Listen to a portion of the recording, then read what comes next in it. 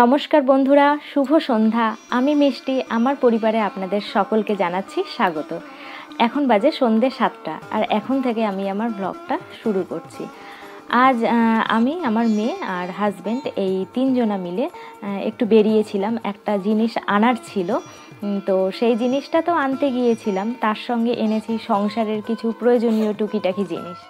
মেয়ে উঠে পড়েছিল, আপনারা তো ওর আওয়াজ পেলেনি সেই কারণে ওকে আবার ঘুম পাড়ালাম। আসলে বাইরের থেকে আসার পরই আমি ফ্রেশ হয়ে নিয়ে ওকে খাইয়ে ঘুম পাড়িয়ে দিয়েছি, এই যে আমার পাশেও ঘুম ঘুমোচ্ছে। তো আমি যেহেতু ওর পাশে বসেই ভিডিও শ্যুট করছি, আমার কথার আওয়াজে ও ঘুম থেকে উঠে পড়ল। ওকে আবার ঘুম পাড়িয়ে দিলাম। ওর ঘুম ভীষণই হালকা। একটু কথা বলেছি, ব্যাস, হয়ে গেছে। তো যেটা বলছিলাম, সংসারের যে প্রয়োজনীয় টুকিটাকি জিনিসগুলো কিনেছি সেগুলোই আপনাদেরকে দেখাবো। আর যে বিশেষ চমক, সেটা আমি পরে দেখাচ্ছি আপনাদেরকে। তো আগে মেয়ের জিনিসটা আমি আপনাদেরকে দেখিয়ে নিই। এই দেখুন, মেয়ের জন্য কিনেছি এই রকম একটা ছোট মগ। কি সুন্দর না দেখতে? রংটাও ভীষণ ভালো। এই মগটা কিনেছি, ওকে আমি স্নান করাবার জন্য। ওর তিন, তিনটে বাচ্চা আছে, কিন্তু কোনোটাতেই এখনও স্নান করতে পারছে না। কারণ এখন যা ঠান্ডা, অত জলে স্নান করার সময় এখন না গরম পড়লে পরে। তখন বাথটাবগুলোকে নামিয়ে দেবো, তখন ওগুলোর মধ্যেও স্নান করবে। আর এখন এরকম সাইজের যে চ্যাপটা গামলাগুলো হয় না, ওগুলোতে ওকে স্নান করাই। তো ওইখানে ওইখানে বসিয়ে ওকে যেহেতু স্নান করাই, এই হাত দিয়ে জল তুলে তুলে ওকে স্নান করানো যায় না। তো, সেই কারণে ওর জন্য এরকম একটা ছোট মগ কিনেছি, এটা দিয়েই আমি কাল থেকে ওকে স্নান করাবো। আর একটা জিনিস কিনেছি, সেটা হচ্ছে এই যে এই যে, এরকম একটা ট্রে কিনেছি। এই ট্রেটা ওই মগটা কিনতে গিয়ে এই ট্রেটা দেখে ভীষণ পছন্দ হলো মানে আমরা দুজনা হাজব্যান্ড ওয়াইফ দুজনা যখন সকালবেলা চা খাব, ওই বড় ট্রেটা ব্যবহার না করে এখন থেকে এই ছোট ট্রেটা ব্যবহার করব। আর ছোট ট্রে কি বলুন তো, একজন বা দুজন কেউ বাড়িতে এলে তাদেরকে কিছু স্ন্যাক্স বা একটু চা কফি করে দিতে গেলে না বড় ট্রেগুলোতে দিলে ভীষণ অড দেখায়, বাজে লাগে দেখতে এই ছোট ট্রেটা খুব ভালো লাগবে, এটাতে যদি আমি চা কফি সার্ভ করি, সেই কারণেই এটা নেওয়া। আরেকটা জিনিসও কিনেছি, যেটা আমার ঘরে ছিল না, তবে অনেক দিন থেকেই কেনার খুব ইচ্ছে ছিল। আর আপনাদের বলি যে বিভিন্ন অনুষ্ঠানে ধরুন জন্মদিন বলুন, বিবাহবার্ষিকী বলুন বা যে কোনো অনুষ্ঠানে ঘর সাজাতে গেলে কিন্তু ফুল ছাড়া ঘর সাজানো কমপ্লিট হয় না। তো ফুল সাজাবার জন্য যেটা প্রথমত দরকার ফ্লাওয়ার ভাস আমার ঘরে ফ্লাওয়ার ভাস আছে, তবে বড় সাইজের ফ্লাওয়ার ভাস নেই। তো ওই রকম একটা বড় সাইজের ফ্লাওয়ার ভাস কেনার আমার অনেক দিনের ইচ্ছে ছিল। তো সেটা আজকে আমি কিনেছি, সেটাই আমি আপনাদেরকে দেখাবো। দেখে কিন্তু অবশ্যই আমাকে জানাবেন ফ্লাওয়ার ভাসটা কেমন হয়েছে। তো দেখাচ্ছি আপনাদেরকে। এই দেখুন, আমার পছন্দের ফ্লাওয়ার ভাস দেখতে পাচ্ছেন? এটা কত বড়। আর রংটা দেখুন, কি সুন্দর। আমার খুব পছন্দ হয়েছে। এই ফ্লাওয়ার ভাসটার মধ্যেই দেখুন, মুখটা দেখেছেন? কতটা চওড়া, এখানে অনেকগুলো ফুল কিন্তু এখানে এর মধ্যে সাজিয়ে রাখা যাবে এই ফ্লাওয়ার ভাসটার মধ্যে। আর এই যে গায়ে দেখুন এই রকমভাবে উঁচু উঁচু করে পুরোটা এরকম গোল গোল করে গেছে। রংটা হচ্ছে এইখানটার নিচে গেরুয়া গেরুয়া রং। তারপরে ওপরে আস্তে আস্তে সেটা ফেড হতে হতে হতে হয়েছে অরেঞ্জ কালার কি সুন্দর না দেখতে, আমার এক দেখাতেই পছন্দ হয়ে গেছে এই ফ্লাওয়ার ভাসটা তো দেখি কবে এই ফ্লাওয়ার ভাসে ফুল রেখে ঘর সাজাই। ইচ্ছে আছে খুব তাড়াতাড়ি সাজাবো, কারণ আমার না একটা খুব বাজে অভ্যেস আছে, কি বলুন তো?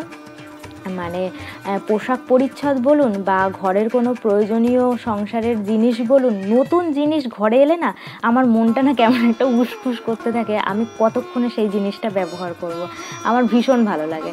আমি এই ছোট ছোট জিনিসগুলোতে না খুব মানে আনন্দ পাই। নতুন কোনো জিনিস বাড়িতে এলে কতক্ষণে সেটা ব্যবহার করব, তার জন্য মনটা একদম ছটফট করতে থাকে। তো খুব বেশি দেরি করব না। এই ফ্লাওয়ার ভাসটাতেও ফুল রেখে আমি সাজাবো, সাজিয়ে আপনাদেরকে দেখাবো।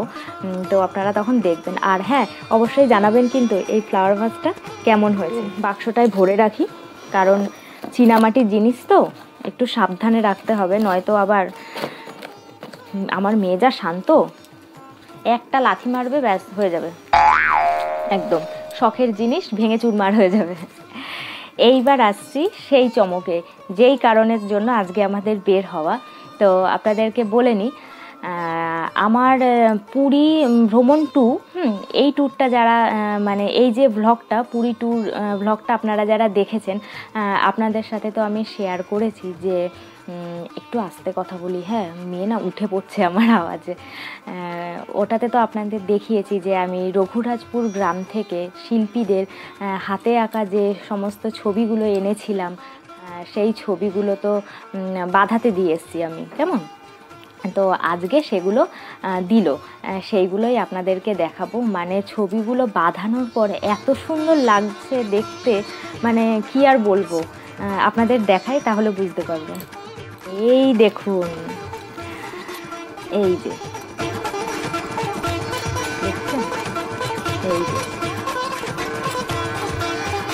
এই যে।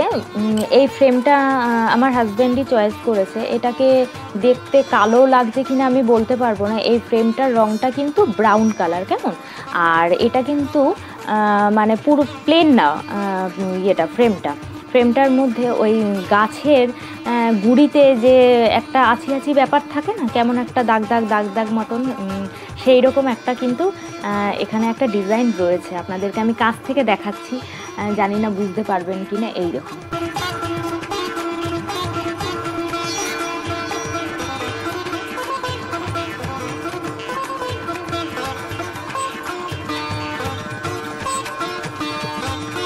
এই একটা এটা তো হচ্ছে সরস্বতী। এটা তো আমরা ঠিক করেছি যে আমার হাজব্যান্ড যেই ঘরে পড়ায়, সেই ঘরে এটাকে রাখব। দ্বিতীয়টা দেখাচ্ছি। দ্বিতীয় ছবি। বোধি বৃক্ষের নিচে ধ্যানস্থ বুদ্ধদেবের ছবি। একই, সবকটা কিন্তু একই ফ্রেম করা হয়েছে। এই ছবিটা ইচ্ছে আছে লাইব্রেরি ঘরে রাখব, এই ছবিটাকে। আরেকটা ছবি আছে। এই দেখুন, আমার সবচেয়ে পছন্দের ছবি। এই ছবিটা ইচ্ছে আছে এই যে দেয়ালটা আছে, এই দেয়ালে লাগাবার। জানি না কবে এটাকে লাগাতে পারব। তার কারণ এই ছবিগুলোর পেছনে, প্রত্যেকটা ছবির পেছনে এইরকম দেখুন, এইরকম একটা লাগানো রয়েছে যাতে এটাকে দেয়ালে ঝোলানো যায় সেই কারণে। তো এগুলো লাগানোর জন্য তো আবারকে আবার কাউকে ডাকতে হবে। ওই ড্রিল মেশিন দিয়ে দেয়াল ফুটো করে তারপরে এগুলোকে রাখতে হবে সেই কারণে। তো দেখি লোক কবে পাই। তারপরেই এগুলোর ব্যবস্থা আমি করব। আর হ্যাঁ আপনাদেরকে বলি এই যে তিনটে ছবি, এই তিনটে ছবি বাঁধাতে আমার মোট খরচ হয়েছে পনেরোশো টাকা। আর এক একটা তিনটে ছবি এক একটার পেছনে খরচ হয়েছে আমার পাঁচশো টাকা করে। আর ফ্রেমটা যথেষ্ট ভালো। আর যেভাবে মানে এরা বাধাই করে দিয়েছে, যেভাবে ফ্রেমবন্দি করে দিয়েছে, ভীষণই শক্তপোক্তভাবে করেছে। মানে খুলে যাওয়ার কোনো সম্ভাবনা নেই। খুব সুন্দর এদের হাতের কাজ, আমি যেই জায়গা থেকে করেছি। আর এটা তো মানে আমি খালি ভাবছি যে কতক্ষণে এই ছবিটা, বিশেষ করে এই ছবিটা লাস্টে যে ছবিটা দেখালাম, এটা কতক্ষণে আমি এই দেয়ালে টানাবো, তার জন্য মনটা উসখুস করছে। দেখা যাক কবে টানাই। আর আপনারা কিন্তু অবশ্যই আমাকে জানাবেন, এই যে ছবিগুলো আমি বাধাই করে নিয়ে এসেছি ফ্রেমবন্দি করে নিয়ে এসেছি কেমন হলো অবশ্যই কিন্তু আমাকে জানাবেন। আজকে জানেন তো, ঠান্ডাটা কিন্তু বেশ কম আছে। তাই ভাবছি একটা দুঃসাহসিক কাজ আমি আজকে করব। সেটা হচ্ছে ত্বকের পরিচর্যা। এখন তো আমি সময়ের অভাবে একদমই করতে পারি না নিজের ত্বকের পরিচর্যা। কাব্য হওয়ার আগে টুকিটাকি আমি ঘরে বসেই কিন্তু নিজের ত্বকের পরিচর্যা আমি করতাম। আর ত্বকের পরিচর্যা করার জন্য যে সবসময় বাইরের জিনিসই লাগবে তার কিন্তু কোনো মানে নেই। ঘরে থাকা সাধারণ কিছু উপকরণ দিয়েই কিন্তু আমরা আমাদের ত্বকের পরিচর্যা করতে পারি। আর সারা বছর ত্বকের পরিচর্যা করি বা না করি, এই শীতকালটাতে কিন্তু আমাদের প্রত্যেকেরই দরকার নিজেদের ত্বককে একটু পরিচর্যা করবার জন্য। কারণ এই সময় স্কিন এত বেশি ড্রাই হয়ে যায়, আমার তো হয়, কারণ আমার ড্রাই স্কিন। আর মানে স্কিনটা এমন রুক্ষ, শুষ্ক, টান, এমন একটা বিচ্ছিরি ভাব চলে আসে না মানে কি বলব, একে যতই ঘষা মাজা করো না কেন, কিছুতেই যেন ঠিক হয় না। তো আমি এখনও পর্যন্ত আমার নিজের ত্বকের পরিচর্যা করে উঠতে পারি না কারণ কাব্যর জন্যই ঠিকঠাকভাবে করে উঠতে পারি না। যেহেতু কাব্য এখন ঘুমোচ্ছে তাই ভাবলাম অনেক দিন পর একটু নিজের ত্বকের পরিচর্যা করবার ইচ্ছে হলো। আর যে সমস্ত উপকরণ দিয়ে আমি ত্বকের পরিচর্যা করি, সেগুলো আপনাদের হাতের কাছেই সবসময় থাকে। আর সেটা কি, সেটা তো আমি আপনাদেরকে দেখাচ্ছি। তার আগে আমি বলে নিই যেটা আপনাদের দেখাবো, সেটাকে আমি বলি পাঁচ মিনিটের ফেসিয়াল আমার দেওয়া নামকরণ পাঁচ মিনিটের ফেসিয়াল এই পাঁচ মিনিটের ফেসিয়াল আমি কীভাবে করি সেটা আপনাদেরকে দেখাচ্ছি, আর এই ফেসিয়াল করতে কি কি লাগে সেটাও আমি আপনাদেরকে দেখাচ্ছি। তো দেখুন, এই ফেসিয়ালের যে প্যাকটা, এটা বানানোর জন্য আমার যা যা লাগবে তা হলো প্রথমে আমার লাগবে গোলাপ জল। গোলাপ জলটা দিয়ে আগে আমি মুখটা পরিষ্কার করে নেব। তারপরে আমি যে প্যাকটা বানাবো, সেটা আপনাদের আমি দেখাচ্ছি। প্যাকটা বানাবার জন্য লাগছে বেসন, চিনি, কফি আর মধু। এই চারটে উপকরণ দিয়ে আমি প্যাকটা বানাবো। তো চলুন প্যাকটা বানিয়ে নিই।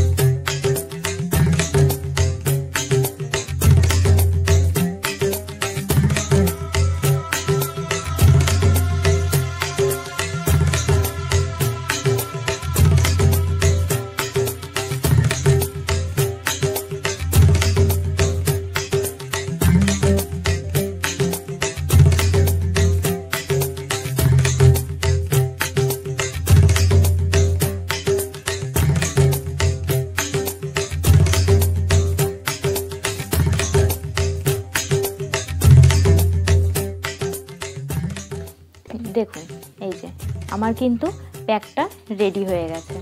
এইবার এটা আমি মুখে অ্যাপ্লাই করব। তার আগে মুখটাকে আমি আগে গোলাপ জল দিয়ে পরিষ্কার করে নিই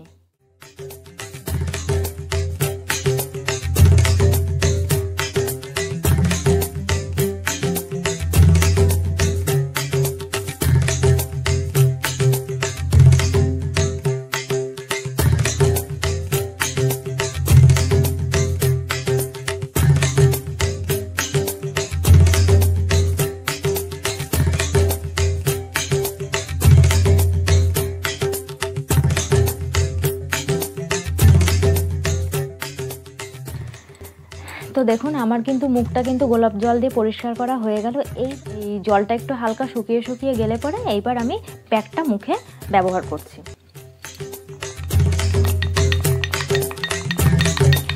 আপনারা দেখলেন যে আমি প্রথমেই কিন্তু সবটা বেসন ব্যবহার করিনি, সবটা কফি পাউডারও কিন্তু ব্যবহার করিনি। তার কারণ যদি মানে মিশ্রণটা একটু হাল একদম পাতলা হয়ে যায়, তাহলে কিন্তু মুখে ওটা লাগবে না, গড়িয়ে গড়িয়ে পড়ে যাবে। সেই কারণে আমি একটু বাঁচিয়ে রেখেছিলাম তাই পরে আবার বেসন আর কফি পাউডারটা ব্যবহার করলাম। এইবারে যে মিশ্রণটা তৈরি করেছি, এটা বেশ একটু আঠালো হয়েছে। এটা এবার মুখে লাগাতে সুবিধা হবে। তো চলুন, এটা এবার আমি মুখে লাগিয়ে নিই। আমি আমার আঙুল দিয়েই আমি মুখে লাগিয়ে নিচ্ছি।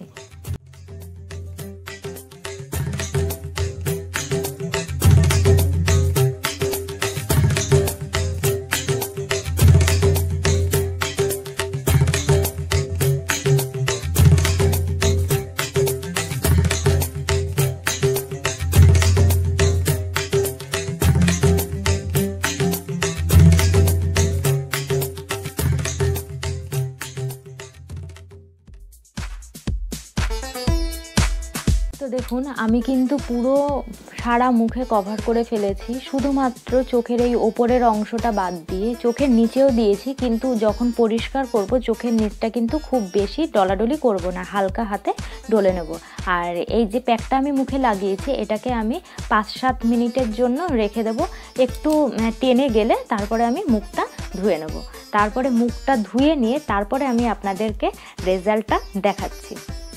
পাঁচ মিনিট কিন্তু হয়ে গেছে আর আমার মুখটা বেশ টানতে শুরু করেছে। এবার আমি মুখটা পরিষ্কার করে নেব। আরও খানিকক্ষণ সময় রাখলে হয়তো ভালো হতো, কিন্তু আমি কাজটা তাড়াতাড়ি করব।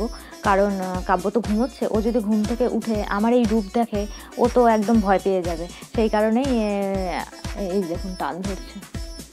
এটাকে আমি তুলে নেব। তার জন্য আগে এই তোয়ালেটা আমি গায়ের ওপর ভালো করে দিয়ে নিচ্ছি। কারণ এটাকে যখন পরিষ্কার করব, আমার গায়ে কিন্তু পড়তে পারে। তো দেখুন, আমি কীভাবে এটাকে তুলছি। প্রথমে আমি আমার হাত দিয়েই আঙুলগুলো দিয়ে প্রথমে একটু ভালো করে এটাকে ডলে নেব। হাতটাকে একটু ভিজিয়ে নেবেন, ভিজিয়ে নিয়ে তারপরে একটু ভালোভাবে এইভাবে ডলে নেব। একদমই আলতো হাতে এটাকে করতে হবে।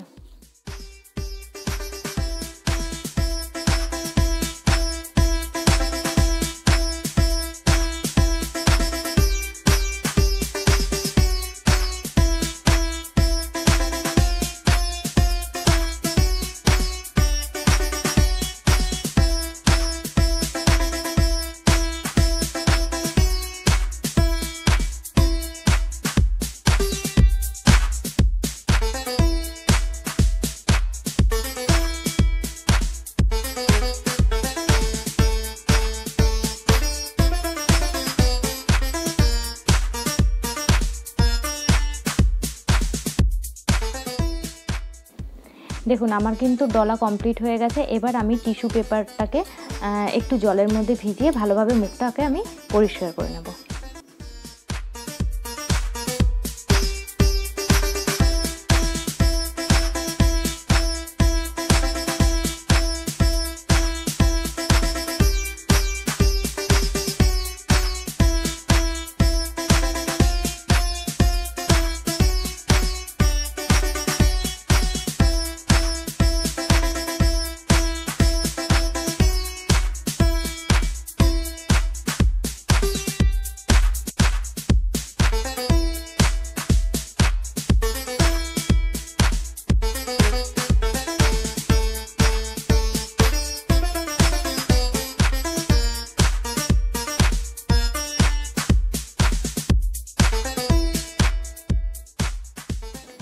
দেখুন, আমি কিন্তু মুখটা খুব ভালোভাবে পরিষ্কার করে নিয়েছি।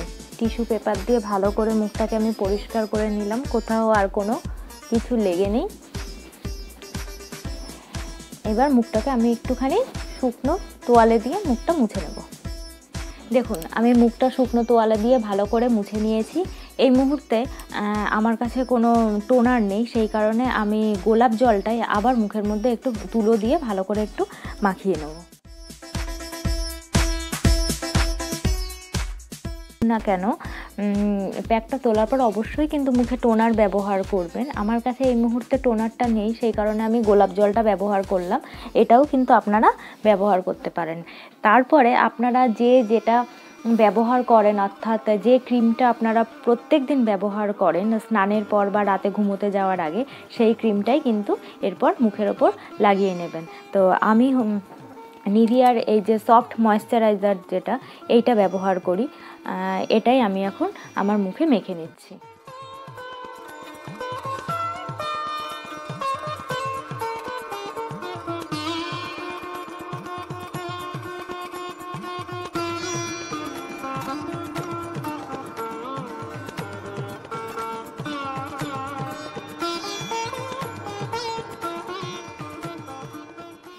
তো দেখুন আমার কিন্তু ত্বকের পরিচর্যা করা সম্পূর্ণ হয়ে গেল। আপনারা কোনো তফাত বুঝতে পারছেন কি না আমি জানি না।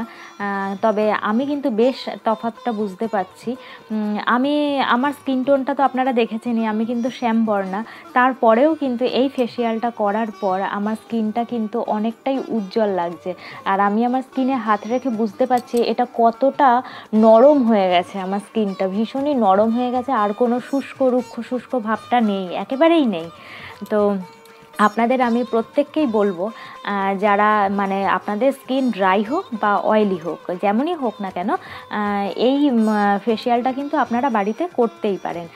আর আপনারা তো দেখলেন যে যে উপকরণগুলো আমি ব্যবহার করলাম চিনি চিনি তো মানে খুবই ভালো স্ক্রাবের স্ক্রাব করতে সাহায্য করে। তারপরে ধরুন বেসন বেসন মুখের মধ্যে জমে থাকা ময়লা সেগুলো দূর করতে সাহায্য করে। আর কফি, কফির তো কোনো তুলনাই হয় না।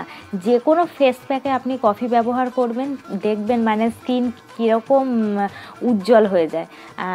কফি হচ্ছে আমাদের স্কিন টোনটাকে আরও বেশি উজ্জ্বল করতে সাহায্য করে। আর মধু মধু ব্যবহার করলে কি হবে? আপনার স্কিনটা কিন্তু খুব মানে সফট থাকবে।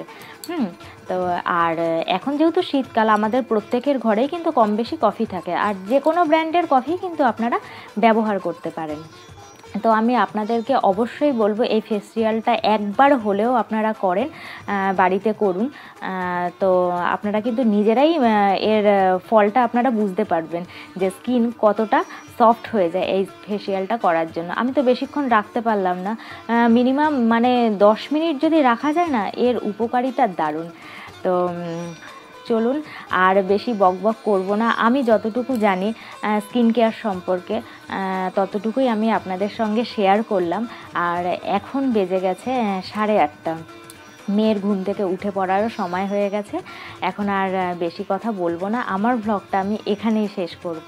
আর আপনাদের সাথে দেখা হচ্ছে আগামী ব্লগে অবশ্যই কিন্তু জানাবেন আজকের ভ্লগটা আপনাদের কেমন লাগল। আর আমি যে স্কিন কেয়ারটা আপনাদের দেখালাম আপনাদের যদি সামান্যতম উপকারেও যদি লেগে থাকে, আমি নিজেকে ধন্য মনে করব। তো তো চলুন, দেখা হচ্ছে আপনাদের সাথে নেক্সট ব্লগে ততক্ষণের জন্য আপনাদের সবাইকে জানাচ্ছি শুভরাত্রি। টাটা।